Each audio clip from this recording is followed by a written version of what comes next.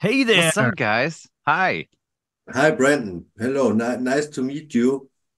Nice to meet you you as know, well. we tried several times. It seems so great that that we have you with us today. And yeah, I, I even feel that now is the next the next 30 minutes are going to be a little bit more relaxed. It was a little bit stressy for us now the last three hours, but we are still doing good. What what what what are you up to? What what what's your task in this world? Man, task in this world, the greatest thing I think you could be is a mastery of self and a, you know, composer with energies, you know, just this ability to take everything around you, assimilate it within yourself, find the useful and not be triggered into stagnancy to where you can't move by fear. So I think your greatest goal here is to master yourself. And um, anything beyond that's just a bonus, right? Like we get to hang out and do this cool stuff. So along the mastery of self, that path has led me to create a show called Expanding Reality. We now have a publishing house that we print journals and we're getting into printing other people's works as well. Uh, we have now events where we're doing in person things, and that is now where we've expanded to get amongst them. And so that also dovetails with my core mission, I feel at my core, which is to give people back to themselves. I think a lot of time, energy, and, and, and everything else is spent here to grab your attention and direct it away from your focus and who you really are and how powerful you really are at its core. So I feel one of my deepest callings is to give people back to themselves, show you, hey, this might be just a ride and you can play, you know, it doesn't have to be so serious and dark, even though it is. And you can look at the serious and dark and still have a good time here. Yeah. Strong words. You know, you're one of my you're one of my most favorite people in the world. You know that. Yeah. And it's again the same, like what what what I said just just before, you know. We are here now talking about these things. Uh, everyone from his own personal approach to this, but we came to this very moment in in a very interesting time because the things you just said, they fit totally perfect to what my my lady and me are just about to start. This this new project you see on the back here, this Tagu Experience research team is is my first project since years now in regards of research. And now we expand to what we call the Tagu Academy, and there we will also provide these things you were talking about to the people, you know, to, to find a way to relax yourself, to find a way to really get to know yourself, to, to learn about so many things which we did not learn or we, which we were not taught in, in school or anything. And it's exactly the right time for this type of projects to, to, to flourish, to go on, to grow. And the idea behind what we are about to do today, what we are already doing today is expanding our reality and also gathering more people into what what uh, what is possible and what we uh, uh, provide for the people. To connect researchers to connect people like you who are having their own channels their own community you know? It should be a bigger community. It should grow. It should grow grow because we need an active change in this what we call reality and we are here to bring about this change. It won't happen any any other way. You know no savior will come whether this is jesus or the aliens or or what whatever kind of uh i don't even want to say this galactic federation guy. I don't know. What people are waiting for projecting the responsibility to the outside and waiting for someone to come and yeah they don't really see that it's it's all up to us. So very very very great that you are here with us today. I don't know if you have seen what happened until now. We are now in a block of yeah two two or more english speaking people again and then we will switch into german again. This is what we have to somehow since we also want to to interconnect uh, on different levels. We intend to translate the videos from today into always the opposite language, English or German or the other way around. So again, to to to give more people a chance to see what what what what the others are doing, even in between the researchers. You know, sometimes one does not know the other, and since I'm in this game since a while with my Tagu experience, I met many, many very interesting people. And I'm so happy that now we can really start to connect. I could not resonate more with what you're talking about here. This is a yes, of course, and it makes complete sense. Now, I will say personally, guys, I have I'm from Texas in the United States, right? I'm born and raised about 45 minutes from I was born 45 minutes from here and I'm 41. So I've spent 41 summers in Texas. They've all been hot. And I've been here for a long time, but in Texas, there's a large German influence and a large German history here. And actually, my lineage is of Irish, we'll whisper that part, but of German descent uh, strongly. And then Daniel and I connected. I feel he's my brother from your side of the world over there. And we've just got a fascinating relationship with being able to connect over the mysteries, over the amazing things. And I've got to say also, uh, just as an American, that it's amazing what you guys are doing, where you're having a marathon in a few different languages. You're then converting those languages. Uh, you know, when Daniel overdubs my voice in your language, it's fascinating to me uh, what you guys are able to achieve. But by breaking that barrier and for it not being a limitation, you've transcended these boundaries. That's what I find so wonderful about my relationship with Daniel in particular. And now, of course, my new family here. And thank you guys for welcoming me open armed. Is that it's just such a cool thing that we have so many fascinating things to ping off of one another. Like I've got stories in Texas y'all probably have never heard of, but all of you have fascinating places and interesting accounts that you visited with as well that I'm blown away by that actually are incredibly integral parts to new insights into the phenomena. it's really interesting to start making some really interesting connections. So again, uh, to the connections part of it, I'm grateful to be here, guys. This is outstanding. Yeah. It's awesome. It's awesome you joined us. And since our topic today is archaeology and um, human history, I was thinking, since you had some very interesting guests already, how many shows have you recorded since you started, by the way? Uh, recorded is, I don't know, but put out, um, I'm about to release episode 267 today. Like it will come out today, but that's not including all the bonus content we've done, the lives, the content you and I have done. It's well over 300 something uh, episodes, and not including any of the guest spots that I've been on, which are in the hundreds yeah. as well. So it's been a lot, dude. It's crazy, and you have you have, you've had some uh, very interesting guests who touched the topic of uh, human history and archaeology. Um, so tell us about a few of your most interesting guests when it comes to these kind of topics. Uh, a few of my favorite, there's some OG ones that you guys would love. Uh, Michael Cremo. Do you remember him? He went on uh, Coast to Coast AM all the time, and he's been on a few of the Ancient Aliens, I think. But just an awesome dude. And so I got to sit down with him, and that was just a fascinating, you know, the forbidden archaeologist, right? So we talked about all kinds of stuff. Um, the other one would be Brad Olsen. Uh, he's wonderful, same kind of credentials, outstanding dude. Um, uh, forbidden archaeology is his occult yeah, his occult forbidden archaeology type work is absolutely fascinating and paramount. He runs around with Linda Moulton Howe, and they do some very interesting work together as well. So having those guys on, but there are a few nuggets uh, out there that aren't in the mainstream as I would call them, but they're God, they've been some of my favorite conversations, which is you guys know how this works. Uh, there's a guy in particular that comes to mind uh, very recently that I just had back on the show is Larry Paul. Now, he is the uh, president of the American Pyramid Association. He goes over to Egypt constantly. And my events actually will take us over to Egypt. And, you know, uh, Gunnar, we, you and I probably have some crossover where we can set up some events uh, together here, bud. Um, now, uh, we'll be going over there to Egypt quite a bit, but Larry works uh, on this amazing style of looking at the pyramids and the entire Giza complex as being a big mathematical riddle. And he sees things like the stairway, which um, is just this amazing piece of. Uh, uh it's stairs that just start in the middle of nowhere. They go down a certain amount of feet, and it's all filled with trash and everything. But he noticed that how many steps were there, the length that it took, the width of the structure that you're able to walk in, as well as the direction that it pointed, pointed to and um, and meteor impact that was also then considered sacred, but it wasn't connected in the literature. So he found all of this stuff.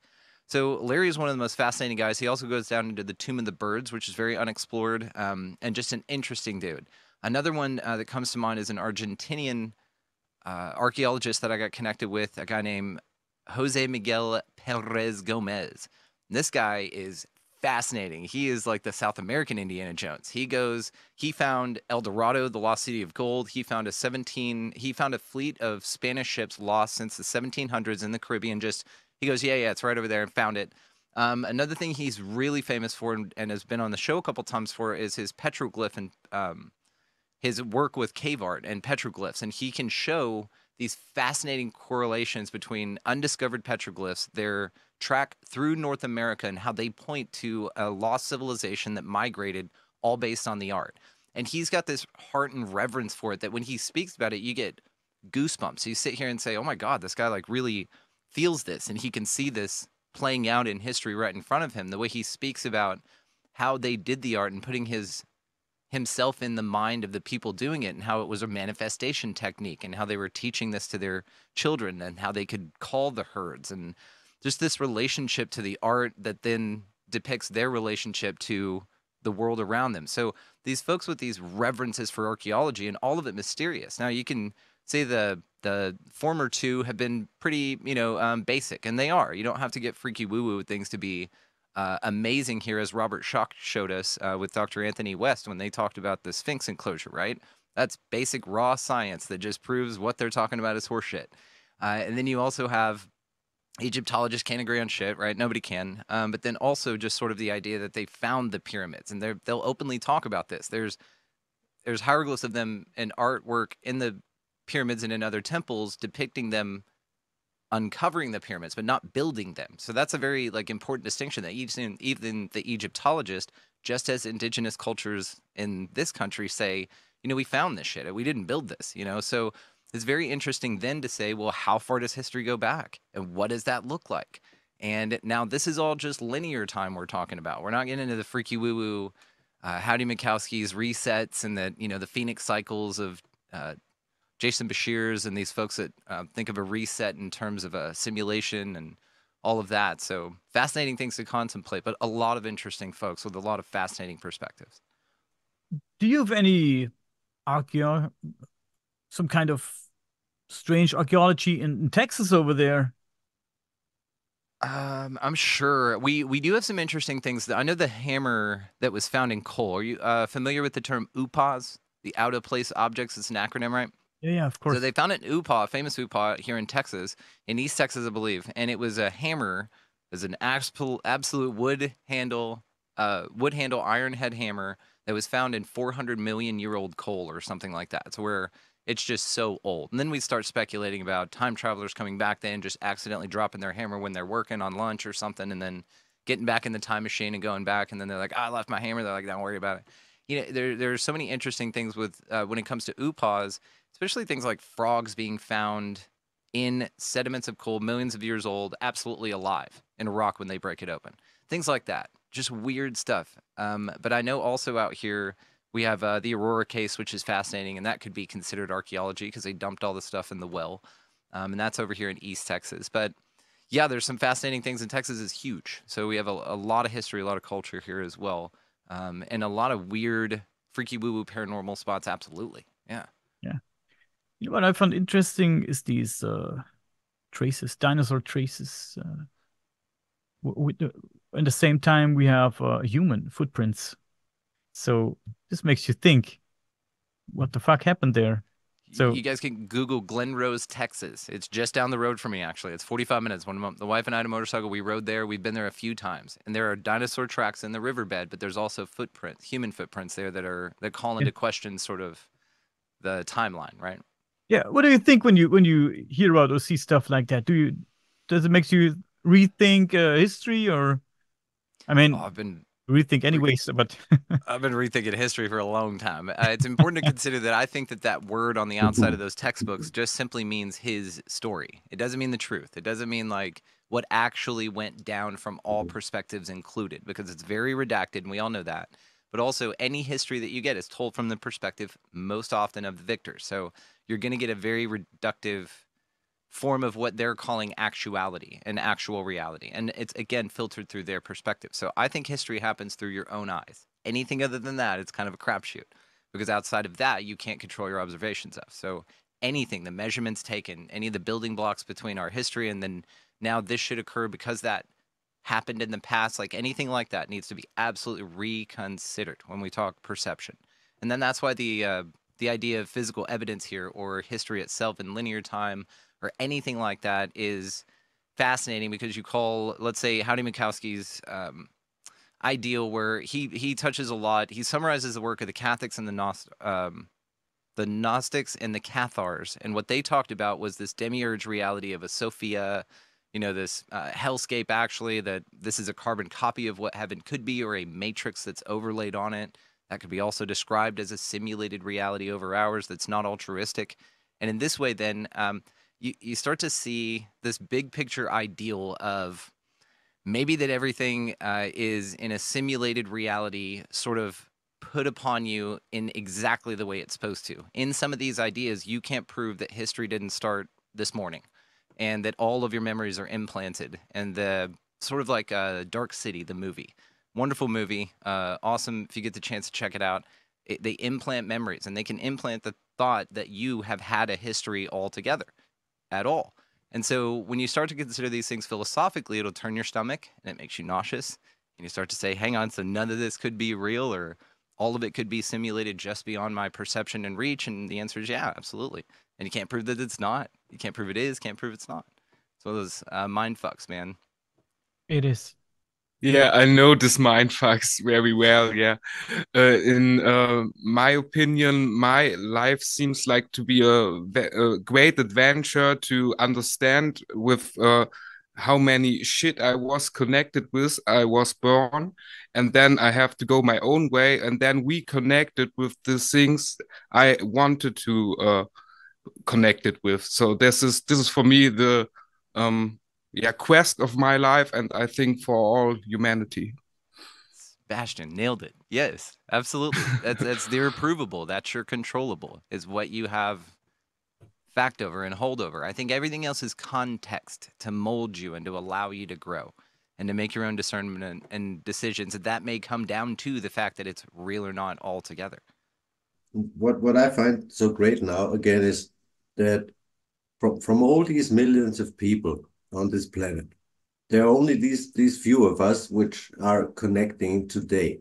And to me, it seems that from my point of view, that on almost every spot of this planet where there are interesting things going on, sometimes weird things going on, now I get more and more connection to at least one person, like from Texas, like one person from Australia, like one person from whatever, you know.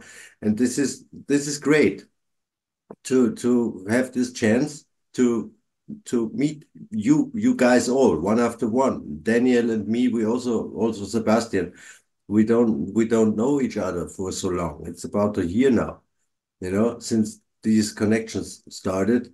And it really seems to me that this is growing. And I, I really like this. This is really really great what's going on right now and we share so many interests not just one thing you know. I can see a guitar hanging uh, or is it the bass? What what you have hanging yeah it's a it's a guitar. there? yeah that thing went to china with me actually. I was a touring musician for 12 years all over uh, the country in the us and then um, that that thing is also carved. I didn't grab it off the wall there but it's hand carved by me by a tiny little screwdriver and so it's very intricate carvings on the top of it um, and then the one I use now is over here. So that one's kind of retired. I did a lot of so, percussion stuff while playing, so it kind of split a little bit. So I kind of just put her up. Mm, this is this is just the next point. Danny and me realized this a while ago that so many people who are into any of these topics are, are also connected to music. You know, yes. This, I'm this also surrounded. I, I just can't. This is you see. I have a baby. I have American support. You know, here in in in in, in my oh this, Les Paul, very nice, yeah. She's turning thirty this year. You know, beautiful. Well, congratulations, happy birthday. And this is this is just great. I'm also surrounded with many many other instruments. I own uh, at least now I think seven guitars, and I like this. This is also part of my work, you know, my approach. I'm also not a studied archaeologist or any of these things, but my approach. I think you did you see some of the pictures from from the cave where I'm working in? I did. Where I'm and doing they look this amazing. research. Yes, but I would be and down to see them again. You know, I'm I'm just I'm just yeah. I can try to give one one example here. Like Zuck for people who don't know this this this stuff. Yeah. This is my resonance chamber. And you, you can see in this case, there are these five chapters carved, let's say carved now, we don't really know how it was made, but we have these five segments. And as a musician, it to me, it, it, it points at uh, pentatonic scales, you know? And this, this is how I approach these things. And the first, even the first time when I entered this cave, I immediately realized that there are some uh, strange acoustical properties. And since then, I try to work more and more uh, around this stuff and find out more and more things. And since we know from other places like the King's Chamber in the in the Big Pyramid or uh, Malta, this this Hypogeum, that most of these places are resonating with this 432 hertz. I actually expected it to be the same here, but my measurements show that it's it's 435 and this is a very very interesting frequency. And since i'm very interested in this i made more and more research about this frequency itself. So and i found uh, from uh, i think he he's from switzerland. This guy his name is hans cousto. He's a mathematician actually. And and together with a guy from berlin they started what they call akasha project and they made electronic music, but with uh, frequencies and sounds which are inducing feelings like you would smoke weed or if you would like to take uh, LSD, you know. And they they succeeded with these things, and they made infrared spectral analysis of these molecules. And interestingly, one one of these frequencies re resonating in, in, in CBD, THC, or LSD is around this 435 hertz.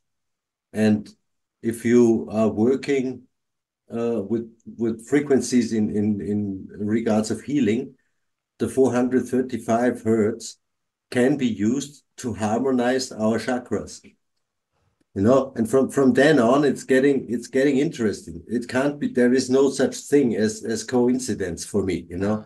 And no. and this doesn't happen by by accident. I have no clue no idea how old this piece here is and who really built it.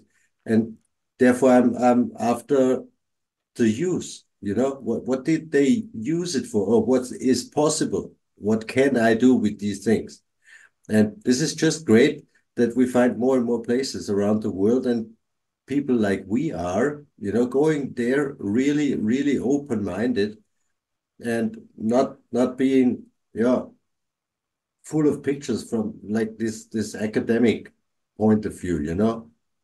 Um, and I, I think that we will really find out great, great things. What we can do this, I, I provide this for the people after a while, at least the, the, the research results. What kind of frequencies can we use? I'm giving uh, workshops for, for how, how to tune your guitar in, in, in, in solfeggio frequencies. You know, friend of mine recalculated this, that, that I can give you this list. There's Please, no, yeah. no worries. You know, you can easily uh, tune your guitar into healing frequencies, not just 432 hertz. That sounds amazing. I'm I'm absolutely yes, please send it. Yeah, we'll do the email thing and and I'm very interested in this, but it's all frequency. That's what this comes down to, which is so interesting. We talk about cymatics and frequency and vibration and of the displays talking back back to history of the old buildings and the cymatic patterns and the windows of the churches. And it's it they reflected what the win, what the building structure itself resonated at. So it was sort of a billboard. It said hey if you know this flower pattern this is the type of healing we do here. And it's so interesting to me that it was a visual representation. And then also you sort of look at the corollaries between what that looks like moving from one I guess, frequency to another. And that's analogous to sort of what we all experience in 2020. I think that the, uh, you know, some frequency was changed globally, whatever you want to say about whatever mm. happened, but a frequency pinged out and we all got in a destabilized place from our normalized fixed position that we were kind of comfortable in. And then it, the system flipped. If you've ever seen the cymatic patterns, when they do that, the sand goes everywhere and it goes nuts, but then it reforms into a new, beautiful, and more complex pattern. And I feel that that's what this whole transition is going to be about is this sort of cymatic yeah. representation, but it all comes back to frequency. So I love that you put that out. And I love that you noticed, because I noticed my first year in the show too. I'm like, you're a musician too. You've had these, these, these experiences, but you're also a musician. I would notice instruments or people would mention this, but it is a fascinating correlation between the two musicians and people interested in freaky woo woo or that have had amazing experiences. Yeah. Sebastian. Just just one funny thing for me because you said we are all musicians. I'm not a musician, but I have a um, radio show five years ago for two years, and uh, I was called as frequency switches, and uh, it takes a long time to understand what I really mean with this. you have a musical mind you know? You can tell you can see it in the way that you see things and especially if you're uh, audio centered that's artistic man. Whoever tells you it's not to run a board to balance eqs you know the give and take to understand the give and take uh, of audio and production is huge man. So you're an instrument for damn sure you're a composer. Yeah. Yes. Hey michael. What's up? How you doing? Good. How's it going? Good good. Thank you Awesome. We are we are we are really having great times. Hello, Michael. Well, welcome to the show. First of all, I would like to ask you: Do you do you two guys know each other? Here on, uh, on, on the bottom. I've seen him. Do... I'm familiar with your work, brother. But it's nice to meet you officially, unofficially, right? We'll connect for sure. Yeah, nice to meet you as well. It's a pleasure to be here with you guys. So we are actually doing very good now. We are we are totally exactly where we should be since Michael was scheduled at eight o'clock our time. And I'm happy again that this worked. We had some issues today in, in the start, and it seems now uh, Richard uh, is not going to come come back today. He's yeah he, he needs to take care of his heart. He's waiting for a heart surgery within the next few weeks. So I him that we will find another uh, appointment. And yeah, we are in contact. It doesn't matter. So what what what what's going on on your side, Michael? I I tried to find what what you sent me to provide. Yeah, maybe fill us fill us in uh, the, on the topic that you wanted to talk about today. On absolutely, absolutely, yeah. I um, well, I recently got back from Peru, and um, that was just a few weeks ago. I um, uh, saw all the sites and did all the things, all the main stuff. But the main reason that I went down there was to uh, work this theory that I've been um, kind of developing on the Band of Holes site in Peru. And it's an unexplained site for those that aren't familiar uh, with it of about 6,000 holes in a band that go up the side of Mount Sierpe out near Ica in Peru, which is out near the coast. Um, it's fairly close to the Nazca lines, and there's a lot of interesting stuff going on out there. Um, but uh, for almost 100 years now, there's been no solid explanation for what this site was used for. Um, and various theories have been posited from uh, graves and mass grave to uh, tribute holes and stuff like that. So I started doing some research, and uh, what I found were agricultural techniques being used in the uh, Canary Islands um, on the volcanoes there. So they have similar climates, similar stuff. And when I saw the two images side by side, I, I just clicked for me. And so when I went down there, um, documented the site, got a lot of good drone footage, and I'll be heading over to the Canary Islands here in two weeks to um, talk to horticultural specialists and about their agricultural techniques and stuff over there. They've been doing this for quite a long time in the vineyards over there. So what they grow over there is grapes, and um, connecting those two pieces. So hoping to, to solve this mystery of what the Band of Holes is in Peru after about a hundred years of uh, of documenting and research on that on that site. So we'll see what we come up with, but uh, I'm, I'm, feeling pretty encouraged by it. Um, they're using these techniques um, that look almost identical across the entire uh, um, continent of Africa. It's called the Great Green Wall. And they're doing that to stop the spread of the Sahara Desert. So this is, and Peru is obviously famously well known for their ability to terraform their environment from these um, the the uh, um, the ledges. What it's slipping my mind right now. Terraces and uh, um, their irrigation system, their their their advanced irrigation systems in the areas and stuff like that. So I felt I feel like this really falls in line with that. And from what I've seen firsthand with the uh, with the uh, band of holes now, um, in comparison, I think we're kind of on track here, which is which is definitely encouraging and exciting stuff. So that's kind of my main focus right now. I'll be working on cart ruts over there as well. We have cart ruts where I'm at in Austin, Texas, in the U.S., and I've documented those recently. And so I can't pass that up. There's cart ruts in the Canary Islands as well as Malta, which I'll be going to as well. So I'll be doing some comparison work on that also. Mike, first of all, fascinating. Second of all, you know we're neighbors. I live three hours away from him, Millsap, Texas, near Fort Worth. My wife and I have eight acres out here. Really? Yeah, well, dude, we got to connect, man. We yeah. got to connect. We got to connect. Yeah. We're gonna be down there for the uh, um, fellow Texan. Yeah, we're gonna be down there for the event uh, in April, the solar eclipse event. So we'll we'll get connected. Yeah, where, but this where are is you going awesome. about? Uh, there's two: the Convergence and then the Utopia one for Contact at the Canyon with Grimerica. They have a whole thing with the Snake Bros Ranch out there. Oh yeah, yeah, yeah. They gave me an invite, but I'm doing the. Um, I'm, I'm hanging with some friends here locally. Uh, I think they're down in Bandera, which is a few hours gotcha. south. Well, but, maybe uh, yeah, absolutely. We got to thing. connect. Maybe pop by for a couple hours, man. We'll we'll make it work. But either way, Yeah. fascinating what you're talking about, and I love the I love the the fact that it's not it doesn't need to be aliens to be awesome. Like maybe it's aliens, maybe they taught them the technique and they burn the holes in the wall with some super cool technology, but fascinating alone or some some amazing, you know, simple yet fascinating ex- uh, explanations here because that takes. I mean, what what then at that scale would you say would it take to create something like that where you found in Peru? there's the if if you guys are seeing that as well, it would take uh, quite a bit of work. Um, so the best example for work, if we're using a comparable site, is what they're doing at the um, Great Green Wall in Africa. Um, it takes about a full day for one person to dig one of these holes and create it and line it. So it takes about a day per hole per person. And there's around 6,000 of these holes stretching from where you see it going down into the valley there, all the way up the sides of the mountains. Can So we that's a lot of holes. And if I remember correctly, it's about it, it's alternating odd numbers somewhat. Um, they are in patterns, which is easier to see when you get directly overhead from I believe nine seven nine seven nine seven. Um, and these these holes are lined with rocks, um, at least partially on one side, which is very similar to the uh, techniques used in the Canary Islands and in Africa now in modern times. And they dig out the holes and then they use the dug out dirt to elevate around the hole as well. Now, this would give you a um, blockage from the wind and dust that could be damaging to the crops. It also helps funnel dew down to the bottom.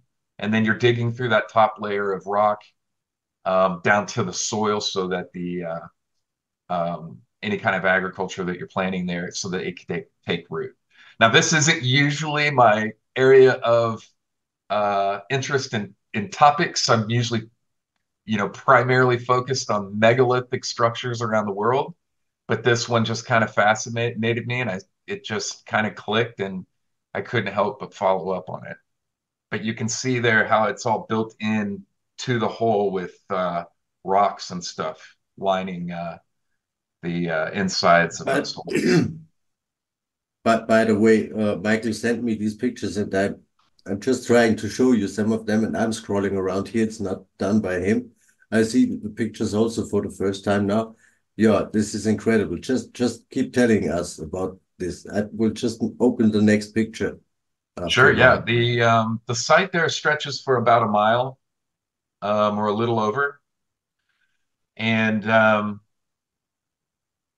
you know, the the culture in Peru responsible for some of the biggest marvels of agricultural engineering um, would have created the the space for some of the incredible things that we see on display all throughout the country. Now, Peru is, in my opinion, probably one of the most significant place sites and places and regions on the planet, even more so than some places like Egypt. I think uh, you have pyramids there that predate e- the Egyptian dynasties at Caral.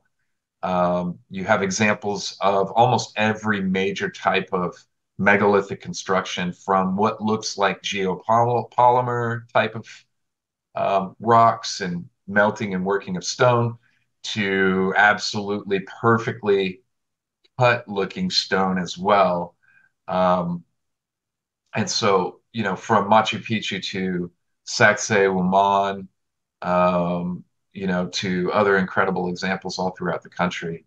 Uh, but you can see there from that overhead uh, perspective. Now, on the left, this is one of the big holes. Uh, there's there were only really two that we identified at the very front, and they looked more like may, perhaps they would have been buildings, but those are bones inside of them. Now, I don't think those bones had anything to do with coming up out of these um, these specific sites. It seems more like they were dumped there, but they did look like human bones, which kind of set a creepy mood for us when we first walked up onto the site. Not to mention that as we got about midway up, um, when we looked back, someone had come over and set a fire by our vehicle. Um, so it, it um, uh, kind of hastened our our our journey a, a little bit. Uh, uh, I was with a group of other uh, content creators, Nikiana Jones and Will from Incredible History.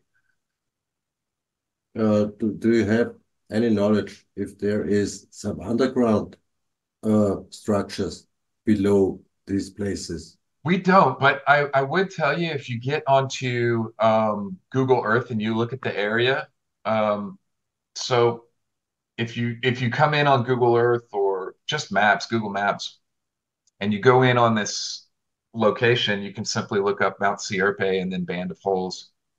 You'll see off to the right and left that it does look like there are um, possibly other types of structures up into the hills. Now, whether those, I haven't walked those areas, but that's one of the larger um, sites. That is that's uh, unique and not typical of the rest of the holes there. But Maybe. that is one of the larger larger Michael, holes at the very beginning of the band of holes. Michael, I'm but sorry. You can have a bit of fun exploring on the maps there up and down the sides of the mountain range. It does look there like there's possibly um, some other. Now there's other sites in that whole area. That whole area was used. There are other ruins all throughout that that valley. Um, and that, that are known. But what's so cool about Peru is that there's still so much that's unknown. Um, you know, there's quarry evidence of quarrying right in the city of Cusco that's that's not even identified on a map. That um, Shirley is known about it. Um, it's right next to the uh, aquifer, the um, aqueduct there in town. But um, yeah, it was a very interesting trip. We had just done the Nazca lines right before this, which was a site that I had always regretted not doing on my previous trip to Peru. Um, and so I was very fortunate enough to be able to do that this time.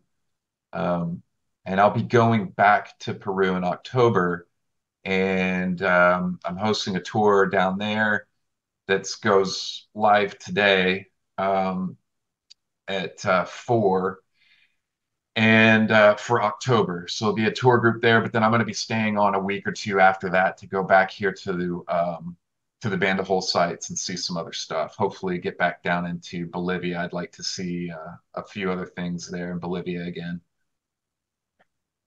But that's the Canary Islands right there. So you know you can kind of see the the, the comparison that I was drawing from looking at the these agricultural sites in the Canary Islands, these are vineyards. Hmm. Maybe I missed it. The the structure we you shown us before, or Gunnar showed us before. How long is the structure? It's a bit over a mile. A mile. Mile long, and um, stretches all the way up into the mountains there, Mount Sierpe, and um, down from the valley. Yeah, and does all these? Uh, it looks like trenches. Did, did, was all these trenches? Um, can you say they were built by hand? These these little rocks. At the band of holes in Peru. Yeah, yeah, yeah. Yeah, absolutely. Yeah, there's stacked rocks and stuff lining the holes. So yeah, they're all built by hand. Okay, um, yeah. To me, it looks like branches or something. It could could be a gravesite too, of course, but over a mile. So the common, you know, the the originally in nineteen in the nineteen forties or fifties, late forties, fifties, early fifties, um, a gentleman named Von Hagen, I believe, if I'm getting that correct, um, identified the area. He did archaeological research there and identified the area as being grave sites. Now, um, you know, the uh, the um, there aren't it, it some of that just doesn't make sense to me when you walk the site. There aren't really spacing for like walking and movement between. Um, there isn't, you know, if it if it was a grave site, it would have been some. It it it, it would be more likely to me logically that it would be a mass grave site of uh, just unknown people, perhaps. But why would you stretch it in a singular pattern all the way up the side of the mountain? Because it goes up into um, yeah. much higher elevation. But not, and, I guess not every culture wants the gravesites to be walked on, so I'm I'm not sure about that. But yeah, you've got a point there, of course. Maybe it was a conquered civilization that they took over, dug the grave so that they could sort of the enemies could see, you know, sort of as a monument to their destruction, or maybe it was spiritual in nature, to where they lined the pathway of souls up this particular mountain. And you know, mountains were revered for the placements of where you could connect with the gods. That's where hierophanies occur, right? Where the gods come down to earth and visit humans. Is that's where they hang out. So it's interesting its location. Do you think, and can we just rule out? I'm just curious. I know that you said that they are now filled with rocks, but we also see evidence of ancient civilizations coming along and taking advantage of the technology of an earlier civilization that they can't credit any knowledge of. Let's say Baalbek, for instance, right? Uh, how they built on the top of those stones. But in this instance, could it be something that maybe as fanciful as it sounds, and I know I mentioned that maybe it doesn't need to be freaky woo woo, but maybe an ancient machine of some type that left those impressions that somebody then maybe found at a later civilization said, you know what, if we stack rocks in here, we can actually protect from uh, the weather and stuff. It was fortuitous that this UFO type machine just happened to land right here for a little bit and take off? Um, you know, the uh, we don't have any other. It's just one singular track. Um, the the stones, the way the circles, because because of the patterning and the, and the layout, it seems very intentional in their in the um, patterning in which they're laid out. Um, and the the picture that we're on right here, we um, that that's not the typical formation for the entire band of holes. This is found at the uh, front of the site. So this this one right here clearly looks more like the foundation of a structure down at the bottom of the base of the band of holes where it all starts. Um, and while we are looking at a site with bones in it, as far as the graves part has um, is concerned, we there's never been found any types of bones or human remains um, or anything else as far as the other theories that around based around tribute holes and things like that. Um, but uh, that's that's kind of a good picture there. The elevation is is hard to tell, but it does go quite a ways up, and you don't. I, I've spent some time looking. Um, you don't have this uh, anywhere else in the region. There isn't another band like this. Um, you can find examples, I think, of holes and different stuff that are kind of maybe constructed, but not uh, not like this and not to this extent.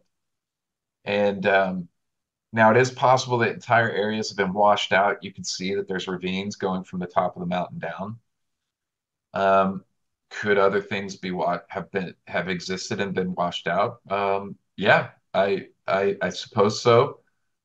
Um, but these do maintain their shape over the contour of the land as far as like their depth and construction, which is interesting. So as you can see there about in the middle of the picture, you have these dips mm-hmm. and the holes go in alignment with that. Um, uh, there are areas where there's breaks and gaps. Um, you can kind of see one um, here towards towards the middle where there's a space of no holes and those kind of are periodically going up the band of holes. You find them every so often. Uh, but it's an interesting site, and um, looking forward to kind of exploring that and bringing more attention to it because um, the entire area is fascinating. This is this is where you're getting into all the Nazca lines and different stuff. A lot of unexplained things. Paracas, the Paracas skulls are out there and uh, very nearby. And, uh, lot of stuff like that. Hey, Michael, is there any reference point or, or is there any chance to tell if this structure was made over a long period of time or was it made or was it built in one so to speak? I mean it took a long time probably but you know what i mean. Is there any is there any chance or reference point that that tells us this was built over the course of let's say 10 years 20 years 2 years 100 years? And another question i will add another question. Did you find any rocks or stones something like that that were out of the ordinary? Did you find extraordinary uh, stones or or, or uh, artifacts stuff like that? No um as from as far as i know nothing's ever been found um, in the holes. Um, and could this have been done in phases, so to speak? Is that kind of what you're asking? Like, could there have been then sections and then at a later date sections? I, I imagine so. Um, um, but I think they date it back to the um, mid 1400s to 1500s. But I tend to also take with a grain of salt dates that are thrown to me from experts. Uh, um, you know, I've seen too many examples around the world that just don't really fit that narrative, specifically um, traveling to China and places like that. When you get to the Yangshan Quarry, China, when I visited and documented the Yangshan Quarry, they have a date of creation there for about 1400s. And Yangshan Quarry has all the telltale signs of megalithic construction that typically date far back, much further yeah. than than that with nubs and machining and tool marks and um, lots of different types of stoneworking um, there in China. Um, and then when you get to Peru, also the dates, you know, you you can literally see the levels of of um, like loss of technology. Mm-hmm. for a lot of these sites. So you can be walking around the streets of Cusco and see these megalithic blocks perfectly fitted together. And then right above, stacked on top of that, is ancient stoneworking that's very precise and, it has precision fittings and everything else, but they aren't these megalithic blocks. And then above that, you have, which that second layer, I believe, is actually the Inca then above that you have span you know spanish influence which is basically just stacking rocks mm-hmm. using mortar and then above that you have modern construction which is even worse right so it looks like the further back we go the more advanced people were yeah um, and we've lost a lot i agree with the technology i agree with that stuff yeah here here mm. yeah. Mm-hmm. Mm-hmm. but um just just just a second, Michael. Uh, Daniel, I asked Richard and Matt again since the next half an hour is actually my spot, and we could give it a retry. You know, and and all you you guys, you just don't stay with us. If we can manage this now, this time, to bring Matt Turner and Richard Gabriel into into the game for the next half an hour until uh, Gabriela is is uh, it's it's on her turn. Uh, it, this would be great. Just I, I didn't intend now to really interrupt you. You still have time to go. I will see if I can manage this. Yeah, Michael, what have you, what have you done in, let's say, the course of your research to make sense of the structure? What have you, what did you try out? Have you observed it from from from the plane? What what did you do? Have you did you did you so, sit in it? I don't know, man.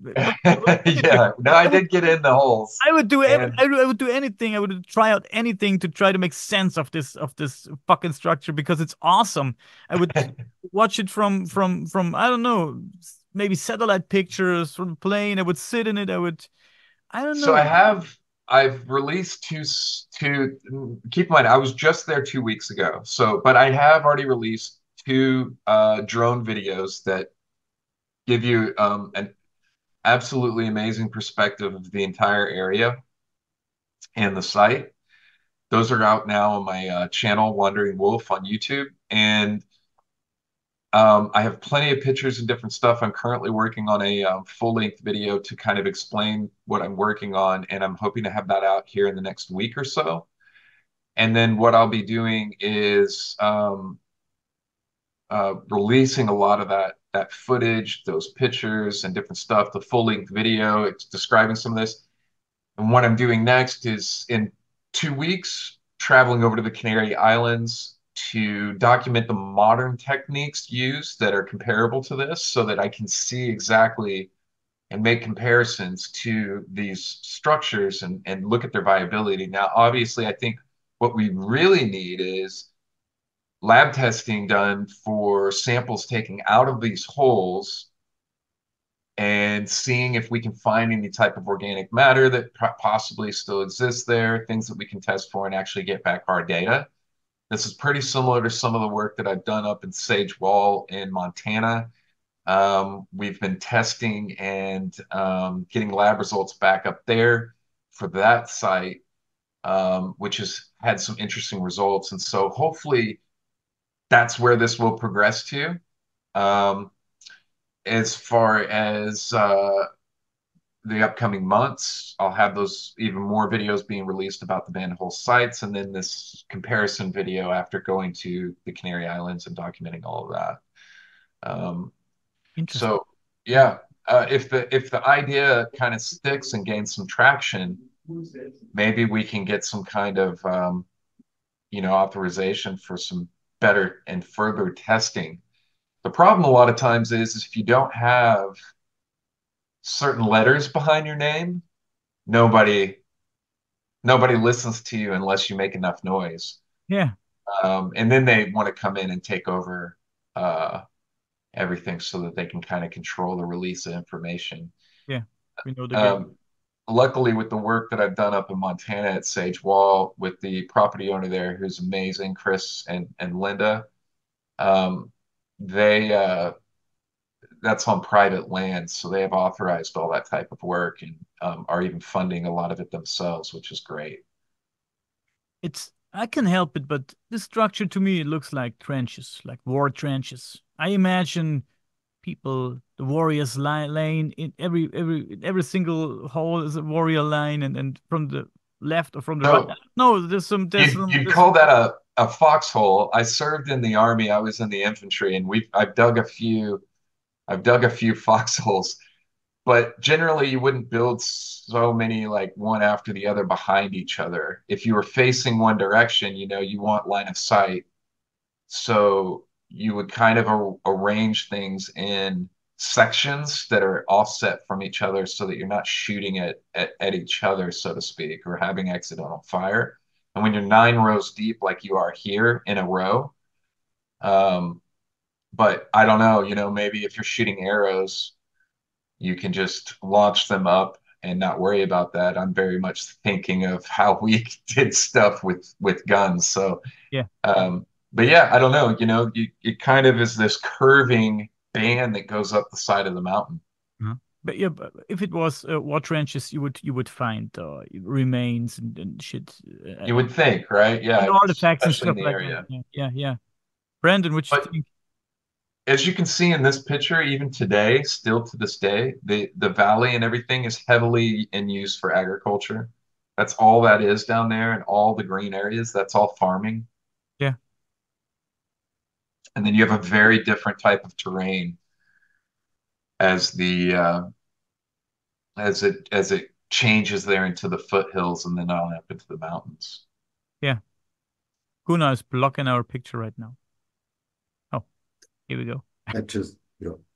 Yeah. It's fast. Your theory is so fascinating, dude. I mean, the more you look at it, um, the more interesting it is, dude. And it's, I mean, heading down the mountain like that, of course, you'd put it strategically like that. It also seems some of the clear paths that you were talking about, accessibility points, if you will, are sort of taking advantage of the ridge where not meant, you know, maybe much water would be collected. So hmm. it's kind of like putting a gutter on the top of your house, and it sort of takes advantage of that and that far hill there it's just interesting, man. I love the perspective, and, and you can see it being of use to a population.